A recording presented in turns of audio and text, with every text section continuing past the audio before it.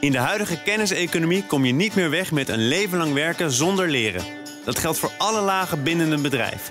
Wat betekent dat voor werkgevers? Hoe brengen zij het opleiden van medewerkers en nieuw talent in het hart van de organisatie?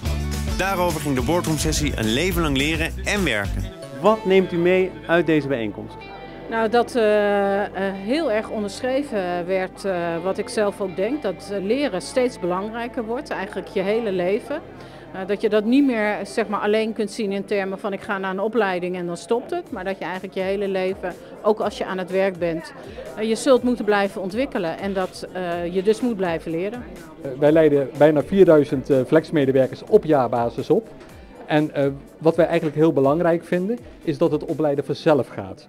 Dus geen hele ingewikkelde trajecten. Mensen zijn gewoon lekker aan het werk en ondertussen worden ze gekwalificeerd. Dat is voor ons de belangrijkste uitdaging.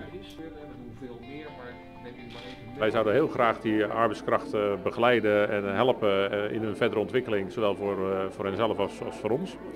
Alleen omdat het zo kortcyclisch is, is het vrij lastig om te bepalen op welk moment uh, en met welke inhoud wij hen kunnen helpen in die ontwikkeling. Op dag 1 wordt er aangegeven dat het bijblijven en dus ook het leren, dat dat echt van onze medewerkers verwacht wordt. En wat wordt er dan getraind? Dat kan uh, van alles zijn. Dat kan vakinhoudelijk zijn, maar dat kan ook persoonlijke vormingstrainingen zijn. Dus slecht nieuwsgesprekken, verkoopgesprekken, dat zijn de, de, de vormingsgesprekken. Maar ook vakinhoudelijk, dat men op het gebied van techniek bij moet blijven en dat men daar bepaalde scholing moet krijgen. Nou, we zitten natuurlijk met enorme pieken. En wat in Nederland heel erg ongelukkig is, is dat kerst en Sinterklaas in dezelfde maand vallen. Wie moet er wijken?